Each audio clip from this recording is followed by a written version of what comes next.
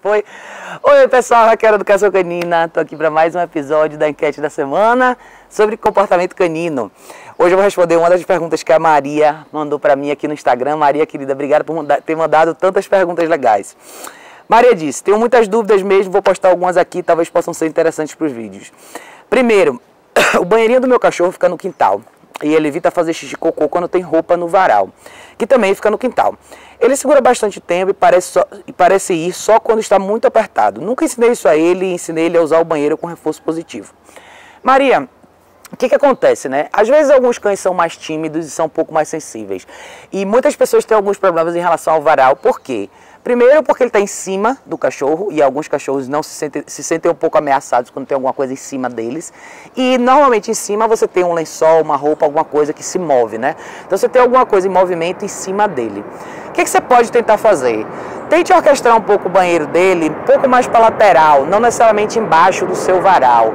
E o que você pode tentar fazer também é trazer o seu cachorro para essa área externa onde o varal está e tentar criar novas situações ali fora. Faça coisas que o seu cachorro gosta ali fora, na presença do varal.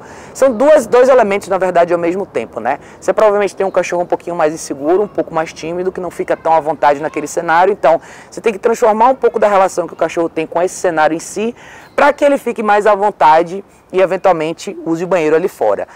Nos primeiros dias, se você tiver muita dificuldade, lembre o seguinte, tá?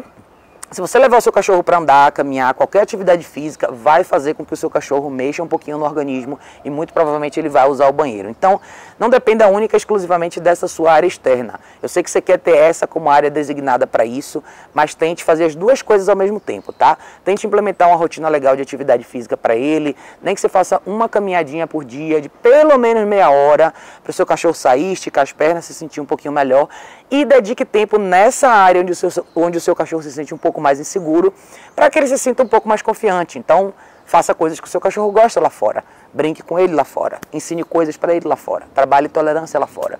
Tudo isso vai fazer com que o seu cachorro fique um pouco mais confiante em relação a esses elementos que causam nele esse grau de insegurança e uma certa resistência aí lá fora de forma geral, não só usar o banheiro. Tá bom, Maria? Obrigada por ter mandado essa pergunta. Vou fazer o melhor que eu puder para responder as próximas que você deixou aqui. E eu deixo um beijo grande para você e todos vocês. Que se, se vocês quiserem deixar dúvidas aqui nos comentários, como sempre, fiquem à vontade, tá bom, pessoal? Beijo enorme. A gente se vê em breve.